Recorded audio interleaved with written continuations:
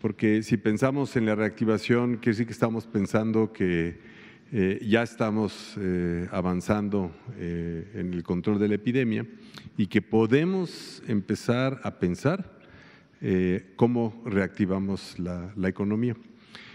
¿Por qué el Instituto Mexicano del Seguro Social está muy interesado en este, en este balance? Por un lado, el Instituto Mexicano del Seguro Social vive eh, de las cuotas de los trabajadores y de los empresarios y las aportaciones de gobierno.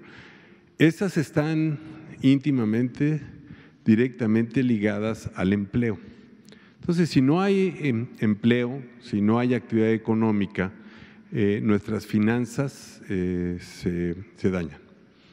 Por otro lado, si hay una actividad económica desregulada, y reactivamos las cadenas de contagio, eh, pues recibimos eh, muchos más eh, pacientes con enfermedad COVID en los hospitales. Y eso también tiene, tiene un costo humano y tiene un costo institucional para el instituto, porque hay que dedicar muchas camas a la atención de estos pacientes, de estas, de estas personas.